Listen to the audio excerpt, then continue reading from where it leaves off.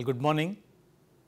In uh, today's class, we will try to extend what little we learned for a constant Mach number shock which we did in the last class to be able to predict the motion of a strong blast wave. Let me rephrase what, what we have done. In the last class, we, we said well a shock moves in a medium whose pressure is P 0, density is rho 0, temperature is T 0. Behind the wave, well the particle moves with a velocity u, the shock velocity is r s dot and what did we do? We predicted the value of P, rho and T and also the velocity behind the shock wave. Mind you, the shock is moving at r s dot, the particle is moving with velocity u, u over here and in the frame of reference of the shock stationary, what did we get? We got the medium moving towards it with a velocity r s dot or equivalently with a Mach number m s. The upstream properties were p 0, rho 0, t 0 and the sound speed in the undisturbed medium was a 0. The, the Mach number behind in the shock in the frame of reference of the shock was m, the properties were p, rho and T. This is what we did. That means, we were able to get the properties of pressure, density, temperature and the velocity in the frame of reference of the shock that is shock stationary, how particles are moving back, we were able to get it in uh, we were able to get these in terms of P 0, rho 0 and T 0. This is what we did. Let us write one or two of those expressions down. We had rho by rho 0 that is the density behind the shock to the upstream density was equal to gamma plus 1 divided by gamma minus 1 by 2 by the Mach number of the shock by the Mach number of the shock. That means, we are looking at Mach number m s is equal to r s dot divided by a naught over here.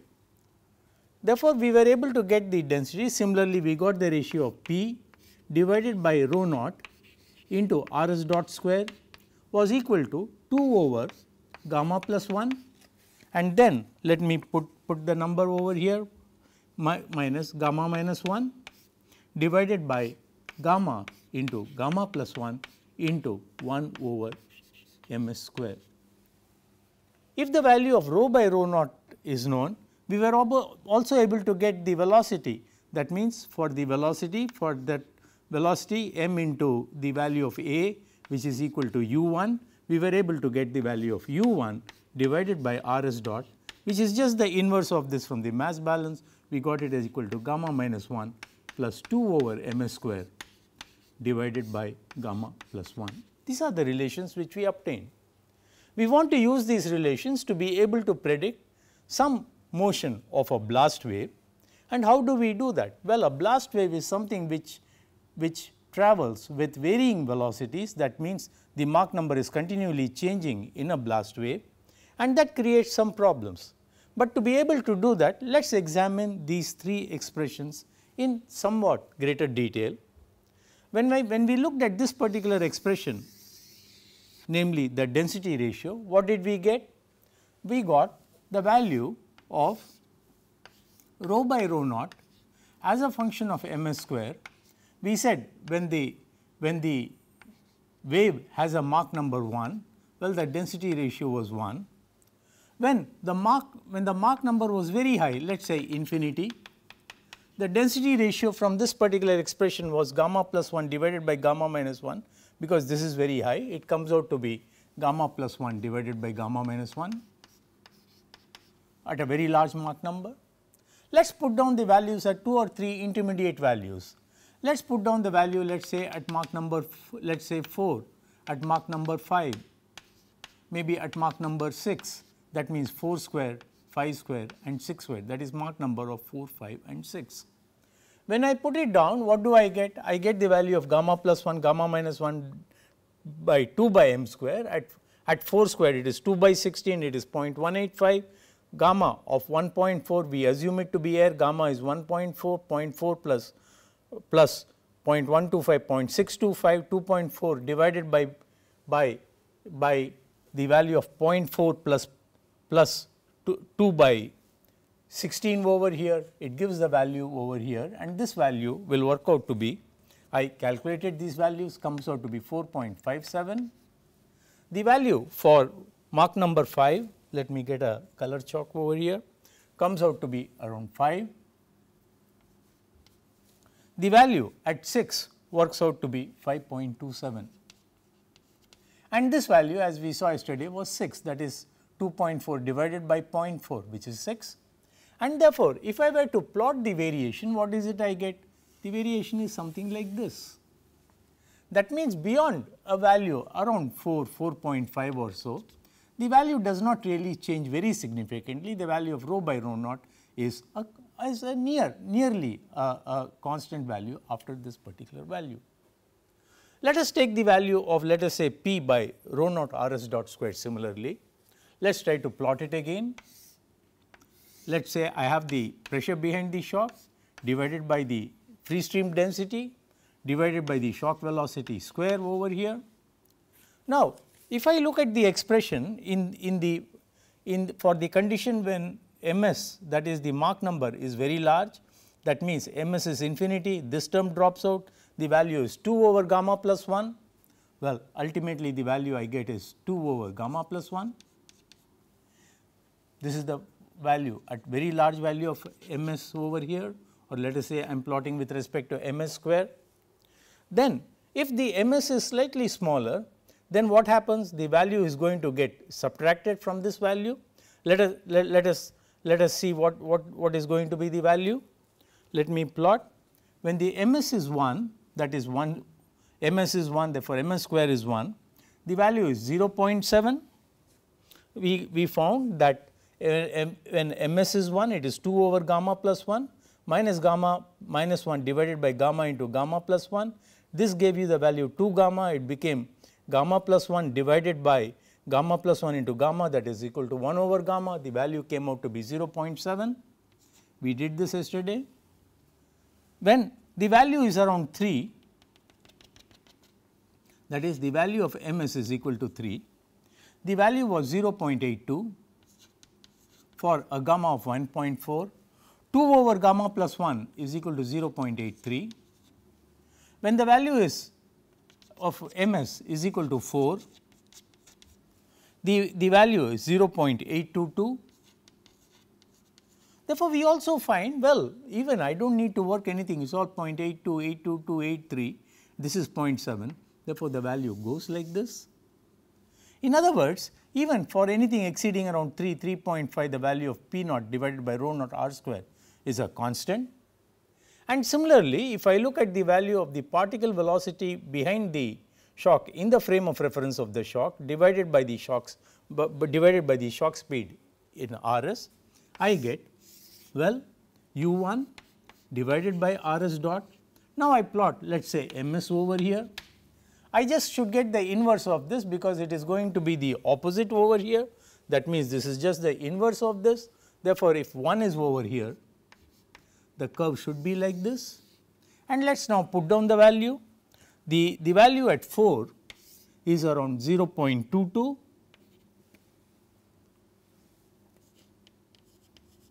at Mach number of 4. At Mach number of 5 it is 0.2 at 6 it is 0.19 and for the condition that it is ms is infinity it is equal to if I if I look at this expression this becomes 0 it is gamma minus 1 divided by gamma plus 1 which is equal to 0.18183. That means you know beyond this it is something like it is drooping it comes down and it is almost a constant over here that means beyond a certain Mach number the value tends to a constant tends to a value around gamma minus 1 divided by gamma plus 1. The value of p by rho naught r square tends towards this beyond a certain value of Mach number. The value of rho by rho 0 tends to a constant around gamma plus 1 divided by gamma minus 1. Therefore, if we are really interested only for Mach numbers greater than some limit somewhere in this region, somewhere in this region of Mach numbers, somewhere in this region of Mach numbers, we can very well say that the Mach number of the shock will not very significantly uh, influence or affect the value of u 1 by r s dot, p by rho naught r s dot square and rho by rho naught. Let us use this fact to try to model a blast wave that means we will try to predict the, the blast characteristics when the Mach number of the shock is a little high. Therefore, now we have to go back to a shock and see how, how the, the shock strength in a blast wave varies. Now, we again go to the streak diagram T by R s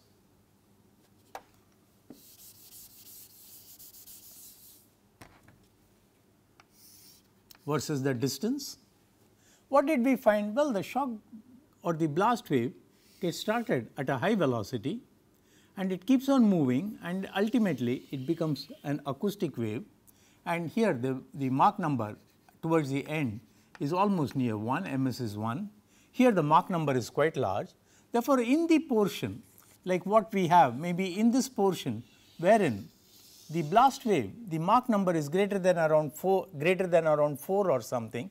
Well, I can use these conditions and we will try to see what happens when the initial or in the near field of the explosion wherein a blast wave gets started for which let us say Mach number is greater than around 4, what how will the blast wave get affected. When I talk of these things well the Mach number also influences the, the pressure, density and temperature behind the shock wave and therefore, it might be a little more difficult.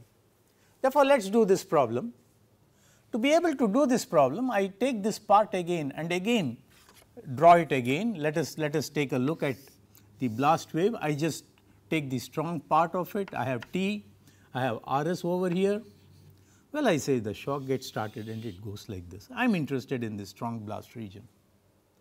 Let us therefore say, well, at maybe I have the explosion coming taking place over here the shock keeps moving, the blast wave keeps moving. I am talking in terms of a high Mach number shock which is formed and it is continually decaying, this we found it to decay.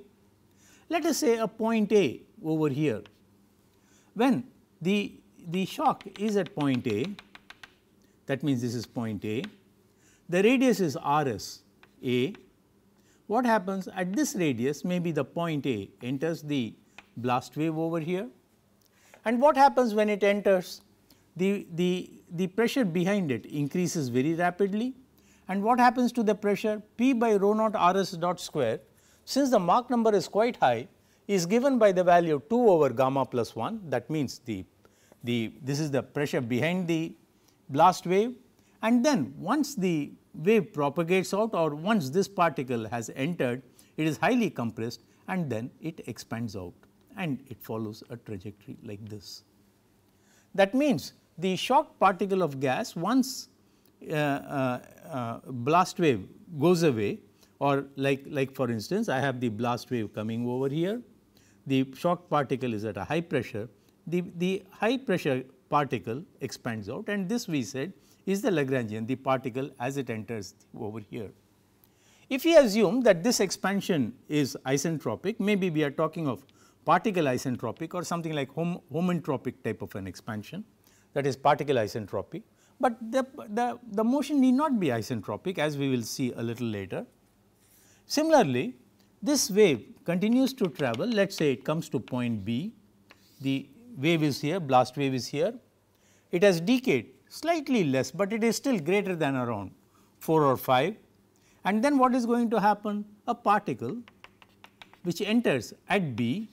Let now the distance of the shock from the origin is RSB.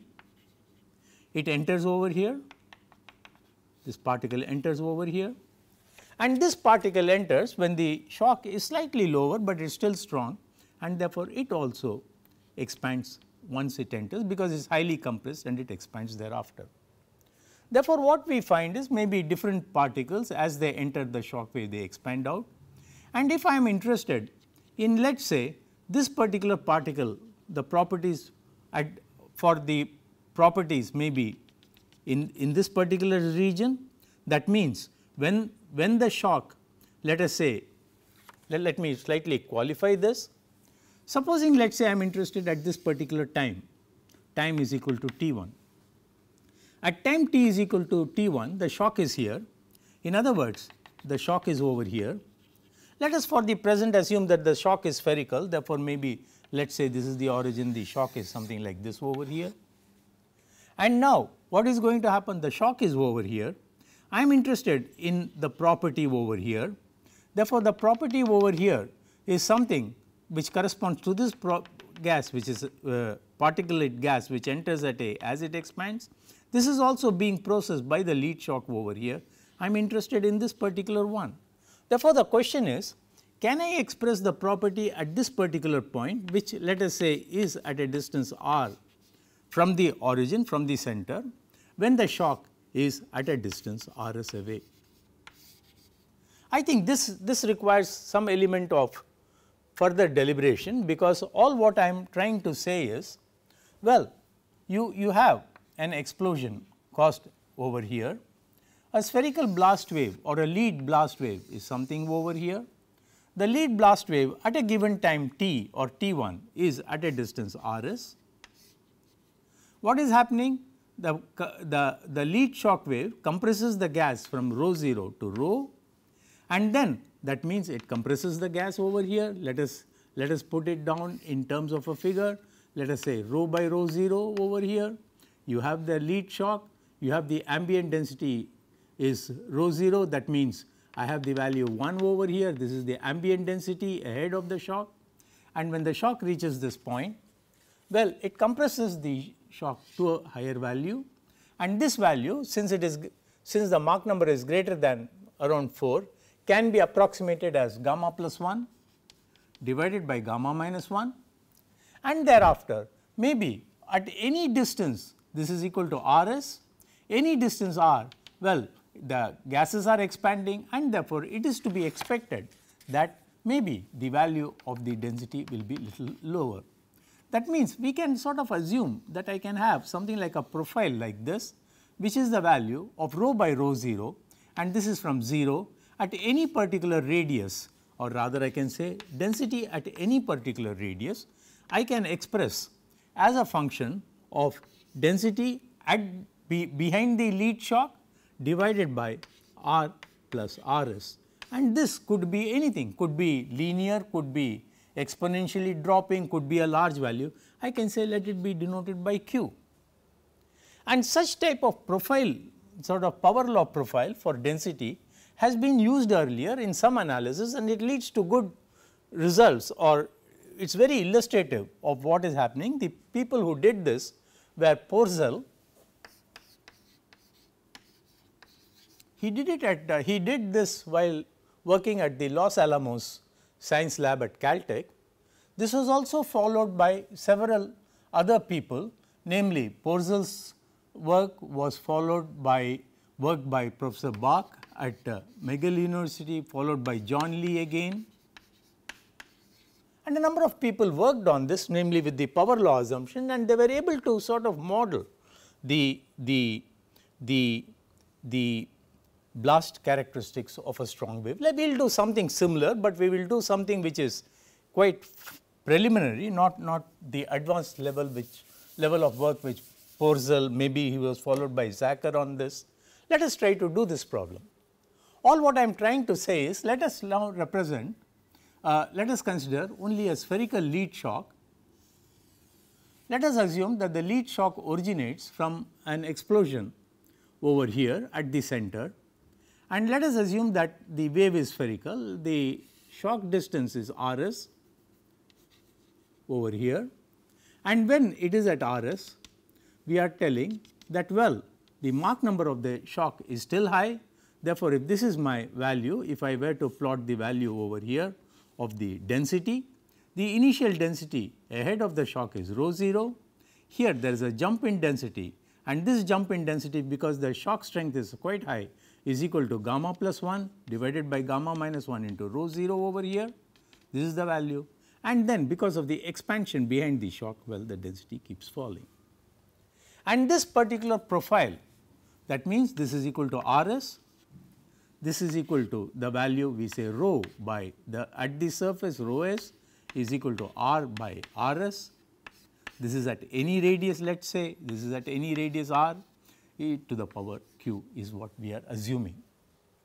With this assumption, let us try to predict something like the motion of a blast wave. Let us try to solve the mass conservation equation and see if we are able to deduce anything further about the blast which is propagating and our interest let us be very clear on the streak diagram when we have T versus RS and the blast wave is propagating out, we wish to find out what are the characteristics of this initial region which we say is the strong blast region and this is what I will do in the next 5 or 10 minutes.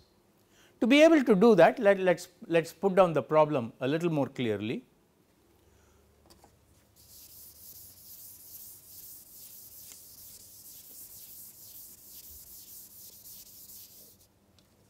Well, we tell ourselves well the density at any, any, any distance r when the shock front is at RS is given by the density at the shock front divided by into we said R by RS to the power q. This is the equation 1 we assume that it is a power law. Now, we want to look at the mass conservation equation. What is the mass conservation equation? Well, we had the explosion over here the lead shock is at a distance let us say R s from the source over here. What is the total mass which is contained by the lead shock wave? Well, the lead shock wave starts from the explosion site of the explosion keeps moving forward. It has moved a distance of R s. We assume it to be spherical. Mind you, this is only for the spherical case which I am doing. It could be done for cylindrical, it could be done for planar. What is the total mass contained? Let us assume that the mass of the explosive is quite small and we will not consider it.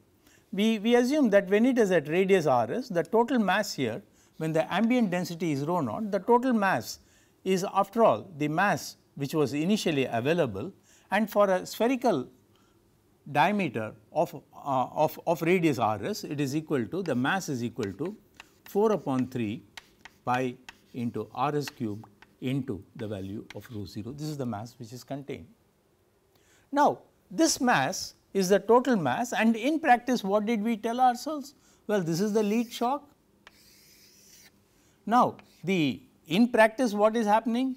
The energy dispersion from this explosion point overall changes the density pattern. What happens is at the front you, you have a large value of density let us let me put it down over here. At the value of R s, the density jumps from rho to rho s and then it keeps falling. Let us consider maybe a particular radius r, small r. That means, this radius is r s. Let me consider a, a, a, a small value of radius r and around this radius r, let us consider a small element of thickness dr.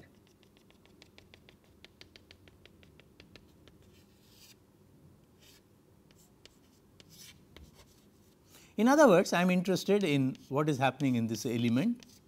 I will try to find out what is the mass which is contained within this element which is between radius small r to r plus dr. Let us write it out. This is r, the inner radius, the outer radius is r plus dr. Therefore, the element of mass which is contained within the small annular spherical passage between these two can be written as let us let us write the expression for that dm that is the elemental mass in the particular shell is equal to the surface area 4 pi r square into the volume which is dr. In the particular shell the density is rho at a distance r and mind you this r is within r s over here this is equal to dm which is contained over here. You will also recall we had the density at the distance r is equal to the, the value was given by the ratio of the density at the surface into we said it is equal to r by r s at the surface or at the lead shock radius divided by q. Therefore, we substitute this expression into this value here and get the value of the elemental mass in this small spherical shell of width dr between r to r plus dr for whose for which case within this elemental shell the density is rho r we get the value is equal to 4 pi into r square into I get rho s, I substitute the value of rho r, I get rho s into r into r s to the power q into dr over here. Let us simplify this therefore, I get this is equal to 4 pi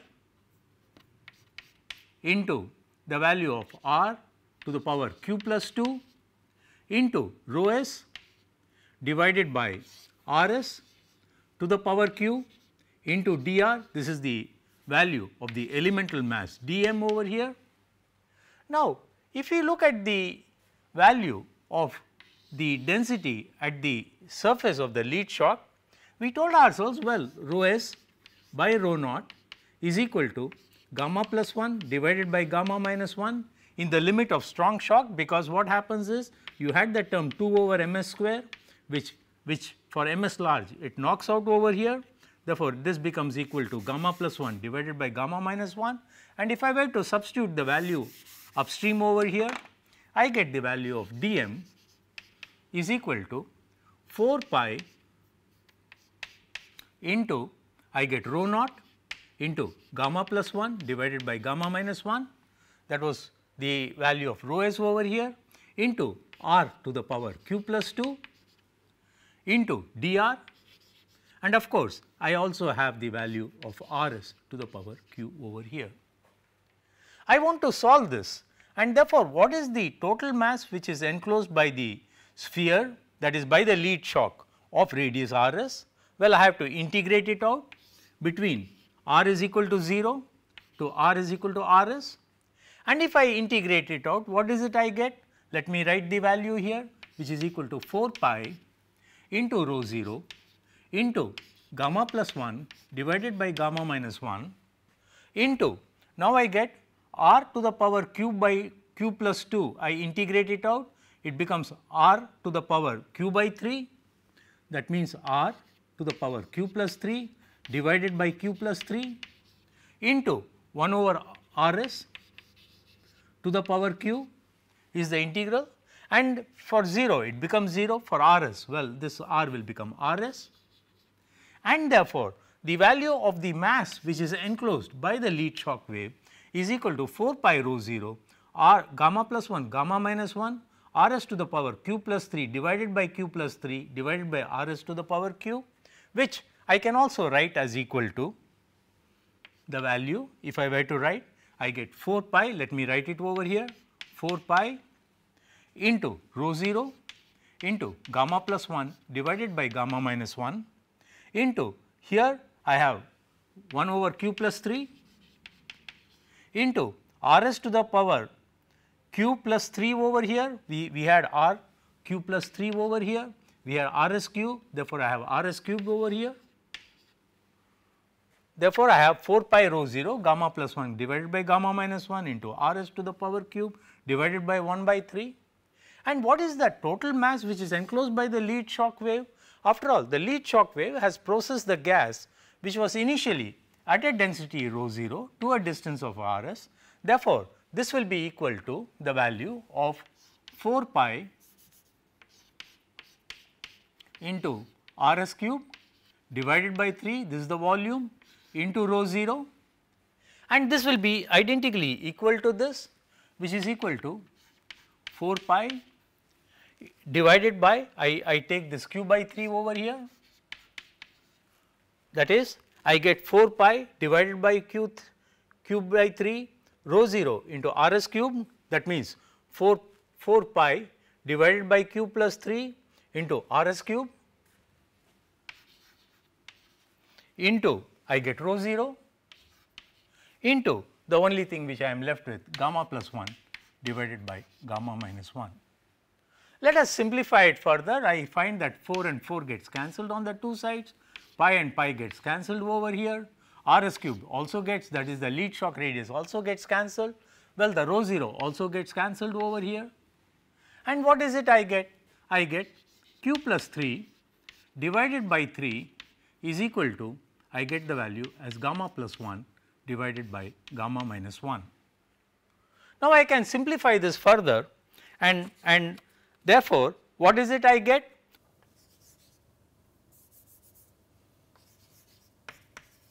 q by 3 plus 1 is equal to gamma plus 1 divided by gamma minus 1 minus 1 or rather the value of q is equal to 3 into gamma plus 1 divided by gamma minus 1 minus 1 and for a particular value of gamma maybe for air we are considering gamma is equal to 1.4 which is equal to 2.4 by 0.4 which is 6 minus 1 5 5 into 3 is 15 I get the value of q as equal to 15.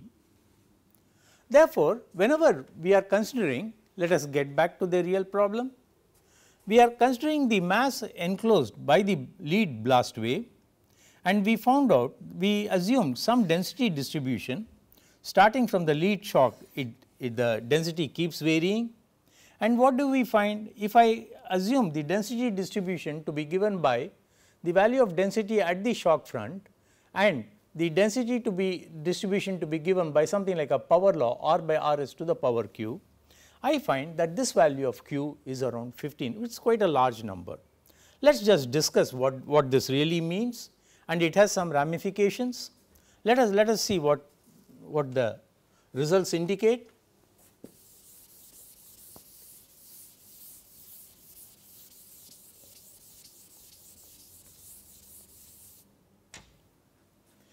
You know if I were to consider the value of rho by rho s and I am looking at the value of r by r s. If I am looking at rho by rho s is equal to r by r s to the power q, if q is equal to 1, well this is the type of distribution what I get. That means, when r by r s is at the lead shock wave which is 1, well it is distributed like this. When I have r by r s is a is a number is greater than 1, well it, it goes like this.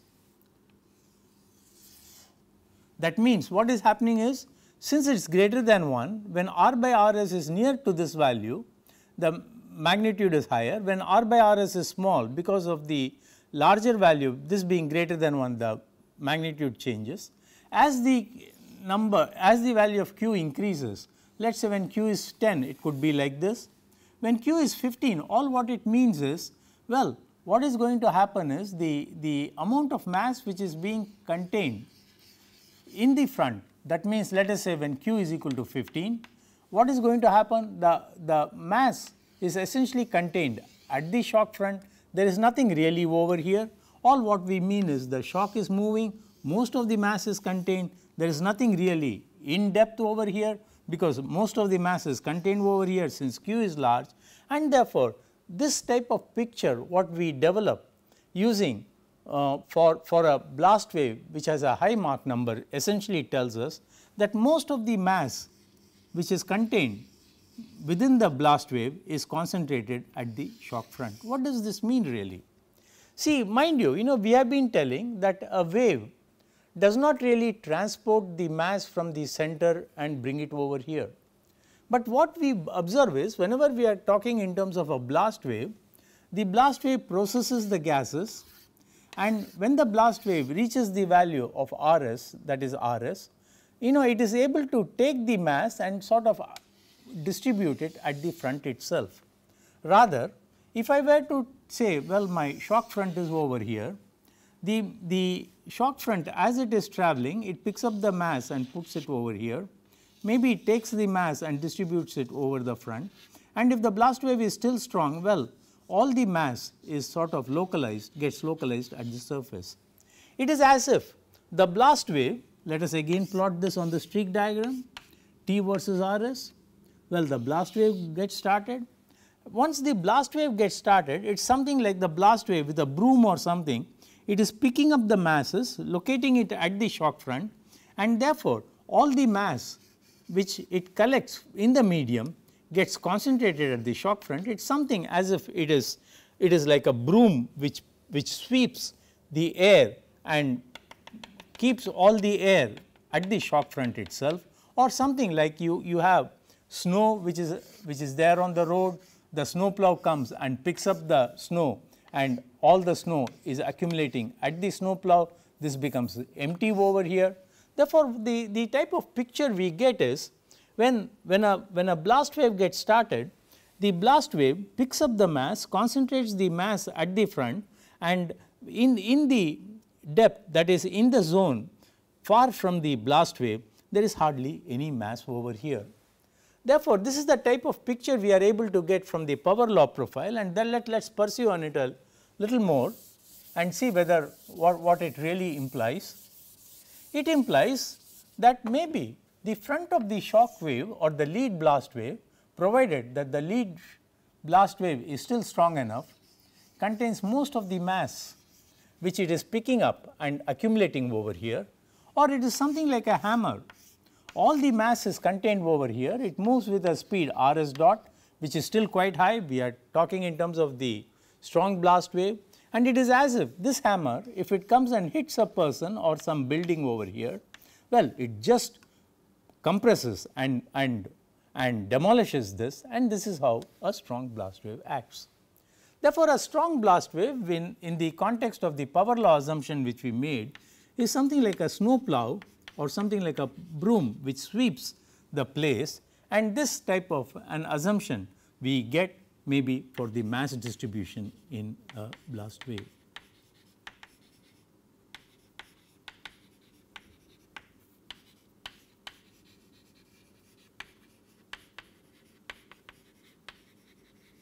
Therefore, we are able to picture something about the type of damages which a blast wave or a strong blast wave can do.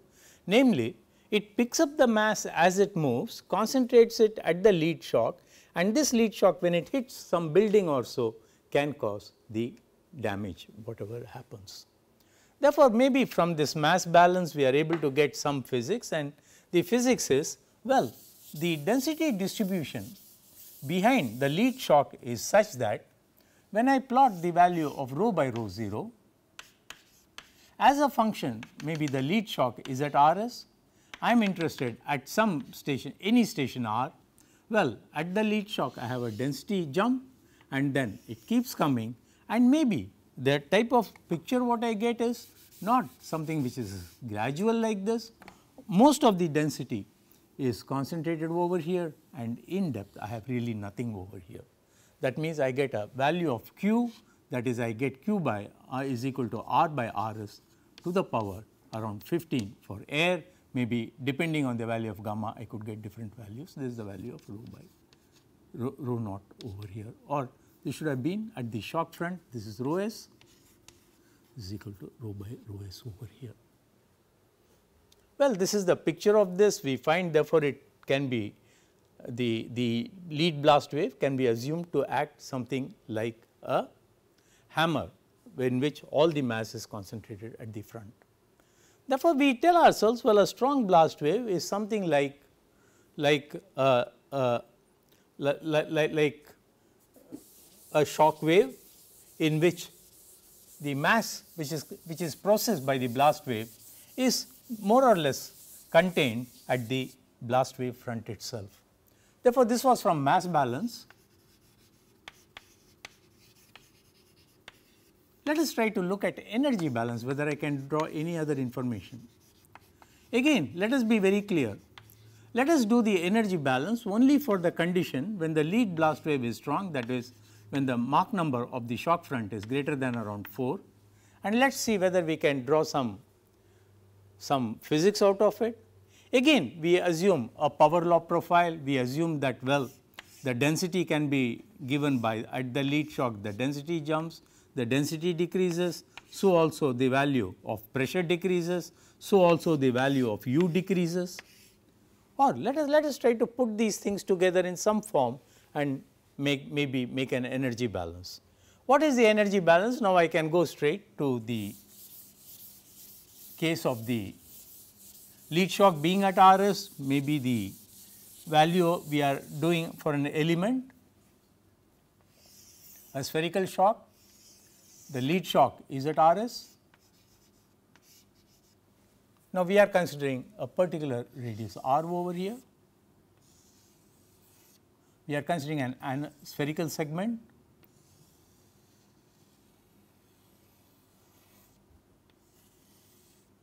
of radius r the width is dr.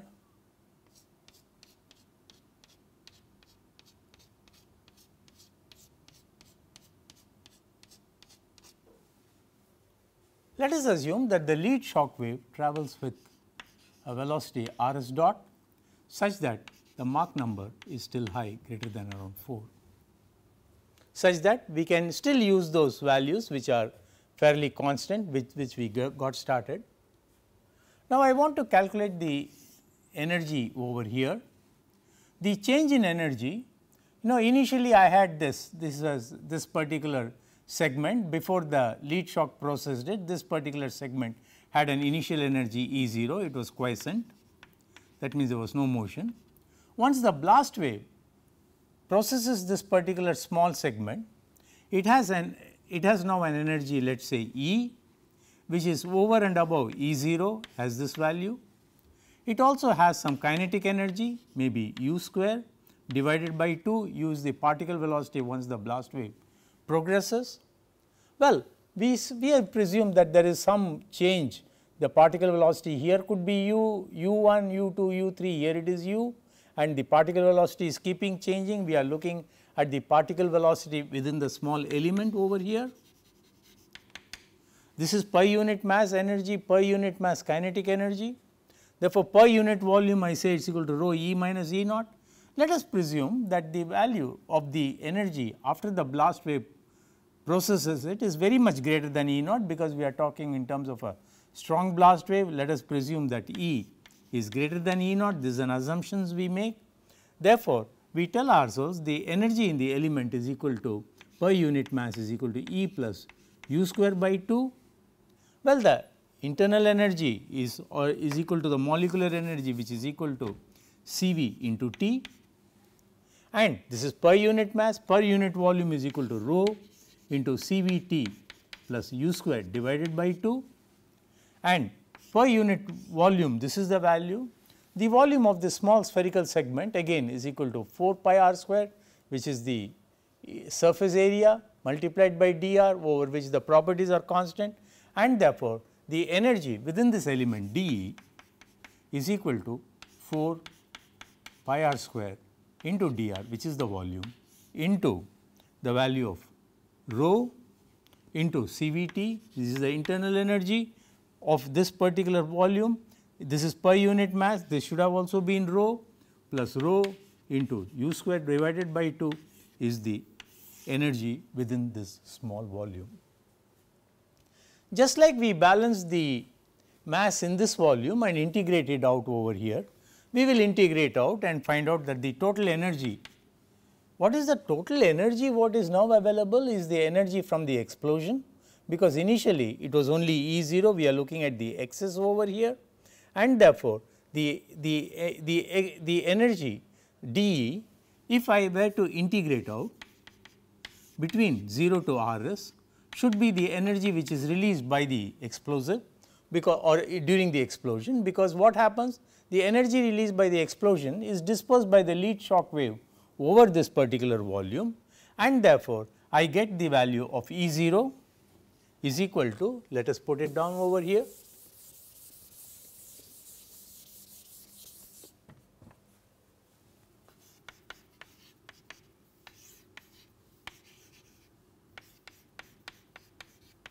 Four pi r square into dr, this is the volume into rho into u square plus rho u square by 2 kinetic energy plus rho into CVT over here and this is equal to the energy which is released which is E 0.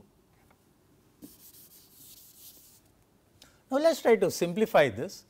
This becomes equal to 4 pi r square 4 pi into well r square depends on r s I cannot take it out I get 4 pi into integral 0 to r s. Now, I get the value of rho u square well u depends on the shock front density I still keep it as rho u square divided by 2 plus I get C v. Can I simplify C v? You know if I look at C p minus C v is equal to the specific gas constant, C v is equal to C p by C v is gamma minus 1 is equal to R or rather C v is equal to R over gamma minus 1. Therefore, I put this instead of this I get rho into R divided by gamma minus 1 into T over here into r squared and dr. And now I, I, I now make I now note that I have P v is equal to R t for a gas, P v is equal to mass into R t or P by rho is equal to R t. If I were to substitute the value of P by rho instead of R and T product of R and T, what is it I will get?